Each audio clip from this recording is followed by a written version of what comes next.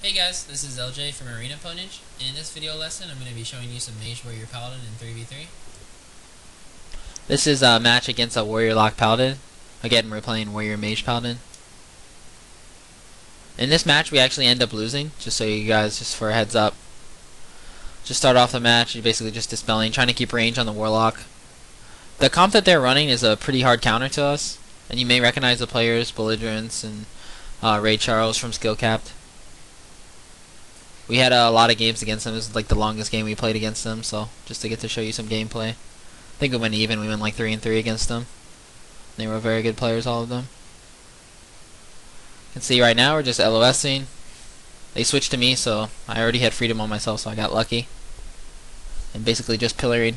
The whole time our mage is peeling, and we're basically just swapping targets.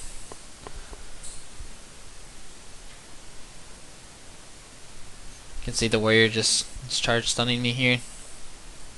Right there I blew wings just to relieve some of the pressure. I, I have my warlocks I have the warlock on their team set to my focus so anytime he's fearing I can just instantly target whoever he's targeting to fear and instantly dispel them. In this mat in this case it'll be my mage most of the time. You can see right here I got feared off to a very bad position. I'm like caught in the middle of nowhere. Instantly they try to switch to me, they get full roll dots on me. Right away I divine I blow divine plea and I blow my sprint, my holy radiance to try to get away. I didn't have freedom, otherwise I would have used it right there, but it was on cooldown. You can see just trying to pillar. Right there I'm trying to fake cast. But he doesn't pummel me.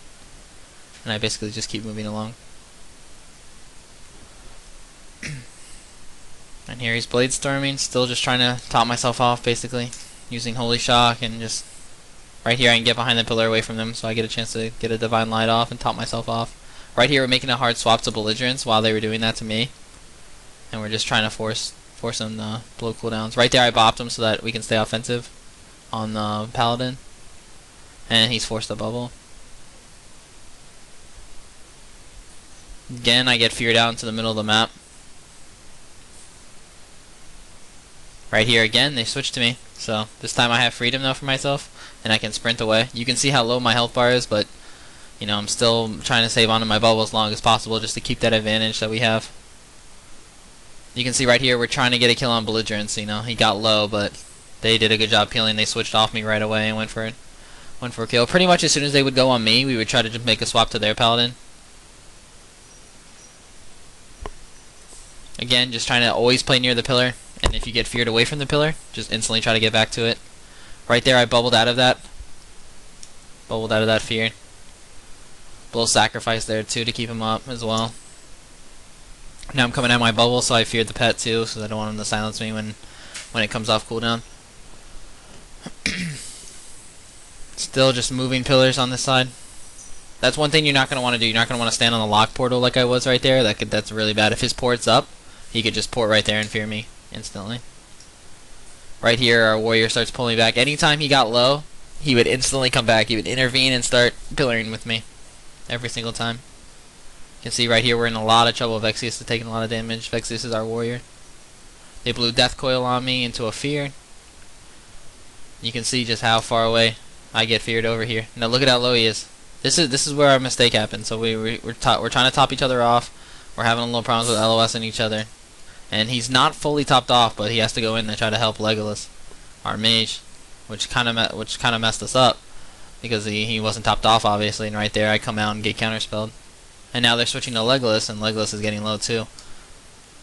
So right now we're just way behind in pressure. You know, to the start of the match, we were actually doing very well. We had more pressure on them. They had bubbled, we hadn't, but now we're blowing more cooldowns than they have to. Right here, I had to come out into the middle, and the lock was going to fear me, so I, I blew a Hosh into him.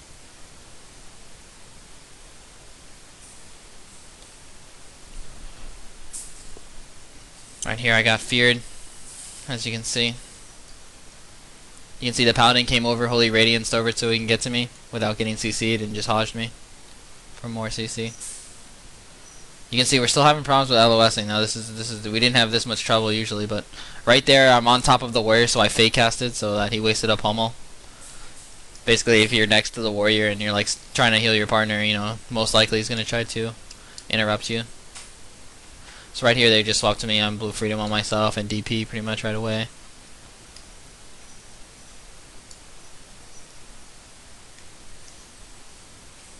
Right here, I'm just using all all my pillaring to my advantage. That's a, our Ring of Frost. So basically, if I just stand on top of it, you know, it's a free peel. Because if anyone runs on top of it, then they get trapped.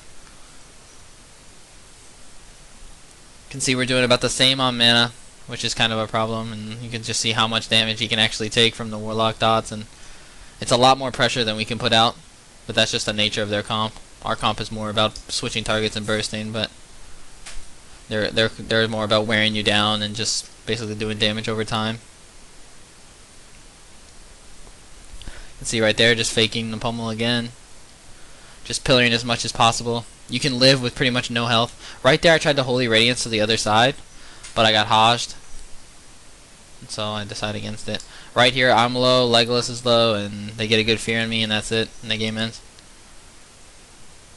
This match is against a DK Shadow Priest Resto Shaman. On this map, usually uh, I always like to stay far away from, from their team. Basically, I'll stay on this pillar and I'll have my team stand in the middle.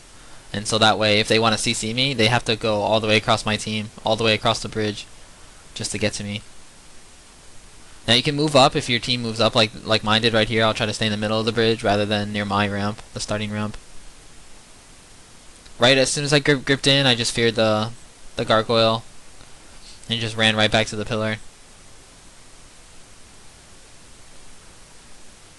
Basically against Shadow Priest and DK DK teams in general, especially with uh with the necrotic strike that they have, you want to just like overheal the crap out of them. Overheal the crap out of the target that the DK is on.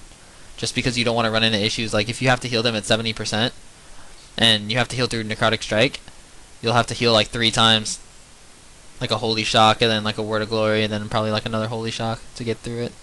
It'll absorb like 30k at max. At max uh, de debuffs. So basically just always topping off my target is what I'm doing, always rebuffing. Always trying to stay away far from the pillar. You can see right here they're moving up. Right away once they swap to me I, I switch DP to myself. It's only a one minute cooldown so again just constantly using that anytime they swap to you. That's like the first thing I do. Right here I just jump down, free to myself. Get a Divine Light off since they, they can't follow me when I jump down so I just use that to my advantage. Just Holy Guardians, oh, Holy Guardians right back up. Holy Radiance, I'm sorry. Right there, the Shaman because we can get some burst off. I plan to silence him right out of it. Silence him right there. And we're still doing a lot of pressure to the priest right now. But not enough. I also bopped him just so we can get some more damage off. We wouldn't have to worry about Nos stun. And like right here, you see I'm just swapping uh, swapping bridges. Because you know they're all on top of me over there, so I just go to this side. Right here I get a good chance to Divine Plea, so I just go ahead and use that. Again, still I'm just mainly keeping my warrior free at a CC and just topping the DK's target off as much as possible. Over healing. Anytime you have a day, day uh, daybreak proc, which will give you the holy shock twice, just make sure you're using it right away so you don't waste the proc. Holy shock's a very efficient heal. It doesn't heal for much, but it costs like no mana, so Right here, you can see Necrotic Strike how much it actually absorbed, and you can just see how low Ice Fog, I mean, uh, Ice Lance gets, who, who's our mage. Right there at Aura Mastery, because like I got gripped in, I could not run, I didn't have freedom up, and I just could not get away, so I Aura Mastery on top of all of them, just so that I could get the heal off. Right here, they're switching to me, but we're still doing a lot of damage to the priest, and we get a full sheep on the on the shaman. I just jump off the side with freedom, Holy Radiance away, and we can kill the priest right there.